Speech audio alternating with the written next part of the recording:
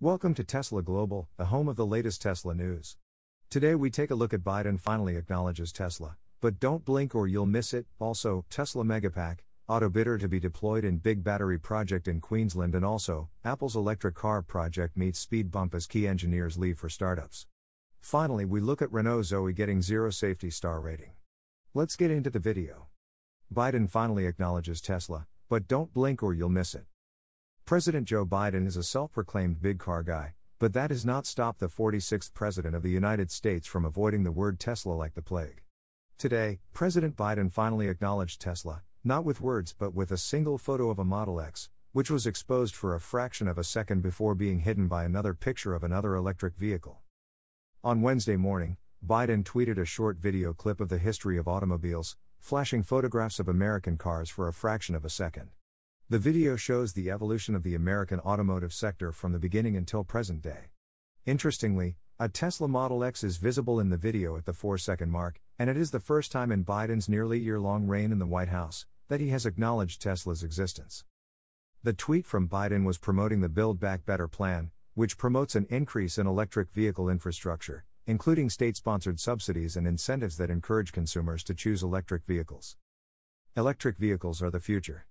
With my Build Back Better Act and bipartisan infrastructure law, we're going to create jobs, boost manufacturing here in the U.S., and create consumer rebates for folks to buy American made, union made electric vehicles, Biden's tweet said. The tweet comes as a surprise to many Tesla enthusiasts and electric vehicle supporters, who are more than willing to admit that traditional OEMs and legacy automakers are only building EVs because of Tesla's influence on the market.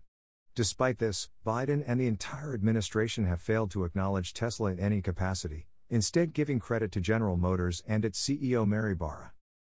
It is fair to believe that Tesla does deserve more credit from President Biden than he has given. Biden has focused on companies that operate union facilities, and according to the Build Back Better plan, which has passed the House of Representatives and is in the Senate, will offer more money in its incentive program for vehicles built at union facilities. Tesla does not operate a union at its U.S. production facility in Fremont, California, and CEO Elon Musk has spoken openly in the past about his distaste for the union model. Earlier this year, Musk was ordered to delete a 2018 tweet that talked about unionization at its Fremont factory, according to a motion from the NLRB. The tweet is still published. Tesla Megapack, Autobidder to be deployed in big battery project in Queensland. Genex Power has executed a revenue deal agreement with Tesla. According to the deal, Genex Power will use the Autobidder platform for the Bouldercombe Battery Project, BBP, in Queensland, Australia. The BBP is a 50 megawatt slash 100 megawatt hours battery project near Rockhampton that utilizes Tesla Megapacks. In October, Genex executed a supply agreement with Tesla for 40 megapacks for the BBP. The Autobidder offtake agreement is with Tesla Motors Australia Proprietary Limited Genex Power entered into the deal to gain the minimum level of contracted revenues necessary to finance the project and retain the ability to capture revenue upside beyond a fixed guaranteed amount. The Bouldercombe Battery Project is set to be one of the first standalone large scale battery energy storage systems in Queensland. The unique integration of Tesla's Megapack battery technology and a revenue sharing arrangement utilizing Autobidder will reduce the complexity of the project. Importantly, the structure of the agreement provides a minimum level of contracted revenues to support project funding, while allowing Genex to retain significant merchant upside, James Harding, Genex CEO, said. As part of the agreement, Tesla will provide a minimum level of contracted revenues to support the Bouldercombe battery project's financing for development. Tesla will also operate the BBP, using Autobidder to maximize revenues each year.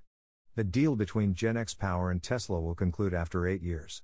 After this, Genex will enter into a license agreement with Tesla to operate Autobidder on the BBP.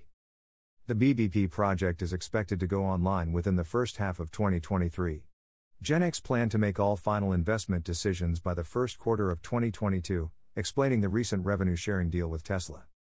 Apple's electric car project meets speed bump as key engineers leave for startups. Apple's electric vehicle initiative has met yet another set of speed bumps, as the tech giant lost three important engineers who were working on the long rumored project. The engineers who departed from Apple were hired by startups working on air taxis. The engineers include Eric Rogers, who was Apple's chief engineer for radar systems. Rogers was hired by air taxi startup Joby Aviation Incorporated Alex Klarabut, who served as Apple's engineering manager for the long rumored electric cars battery systems group, left for Archer Aviation, another air taxi company. Steven Spiteri, who worked as a hardware engineering manager at Apple, joined Klarabut on Archer. Both Joby Aviation Incorporated and Archer Aviation have confirmed the appointments of the former Apple engineers. Apple, for its part, is yet to issue a formal comment about the topic, as noted in a Bloomberg report. News of the Apple car have been swirling in the rumor mill for years, though more recently, reports have suggested that the tech giant is focusing its efforts on developing a full self driving solution, similar to industry leaders such as Waymo and Tesla. Reports from Asia back in September also emerged suggesting that Apple was already looking to partner with traditional automakers and other vehicle suppliers as part of its efforts to bring its first EV to market by 2024. However, the experiences of first movers like Tesla suggest that launching a vehicle and ramping its production is no small task. And with an exodus of talent, the vehicle's development could become more challenging. After all, Rogers, Klarabut, and Spiteri are only the latest departures from Apple. Six Apple car management team members left this year, including Doug Field, who was heading the project. Other members of the team have joined EV companies such as Rivian as well. Inasmuch as Apple is losing some of its key personnel and its electric vehicle program, the company is also aggressively hiring new talent. This year alone, Apple successfully hired a number of key talents, from Ulrich Kranz, who previously led Canoo, a self driving car startup, and CJ Moore, who previously worked at Tesla as a self driving software director. Renault Zoe receives zero stars after latest round of Euro NCAP safety tests. The European New Car Assessment Program, Euro NCAP, recently gave the Renault Zoe a startling zero stars in its latest round of safety tests. The French automaker Zoe has been a popular electric vehicle in Europe throughout the years. As per the Euro NCAP's report, released in December 2021, the Renault Zoe received low scores across the board in categories including adult occupant, child occupant, vulnerable road users, and safety assist. The electric vehicle's highest score was 52% in the child occupant category, where it received 25.9 points in total. The Euro NCAP commented that the frontal offset test on a 10 year dummy indicated the Zoe provided poor protection around the neck while the head and chest were marginally protected. The breakdown for the Zoe's child occupant scores is listed below. 13.3 out of 24 points for crash test performance based on 6 and 10 year old children. 5.0 out of 13 points for safety features. 7.7 out of 12 points for CRS installation check. The Zoe scored the lowest in safety assist, receiving only 14% and a total of 2.2 points. The Euro NCAP noted that the car's seatbelt reminder system was standard for all seats, but it lacked a fatigue detection system. Lane assistance and the Zoe's EEB system were optional and not included in the Euro NCAP's assessment. The Zoe safety assist score was broken down into four categories, as seen below 1.2 out of 3 points in speed assistance, 1.0 out of 3 points in occupant status monitoring. 0 points in lane support. 0 points in EEB car to car. Renault said in a statement that the Zoe was a safe vehicle that met regulatory safety standards. These standards are constantly evolving and are becoming more and more strict in all areas, especially in terms of security, Renault stated. Renault is therefore continually improving its offer in order to comply with the regulations applicable where its vehicles are sold. The Euro NCAP's ratings are regularly updated and are not used to certify vehicles for road use.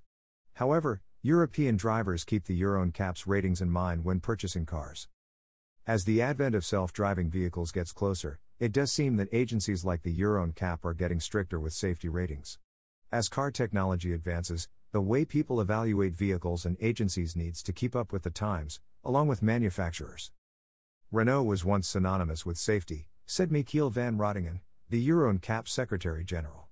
But these disappointing results for the Zoe and the Dacia Spring show that safety has now become collateral damage in the group's transition to electric cars. In his statement, Ratingen referred to another Renault electric vehicle, the Dacia Spring model, which also received poor safety ratings. Although the Dacia Spring did slightly better, receiving a 1 star safety score in Euro NCAP tests. If you enjoyed the video, then please leave a like, and if you are new, why not subscribe? Thanks for watching.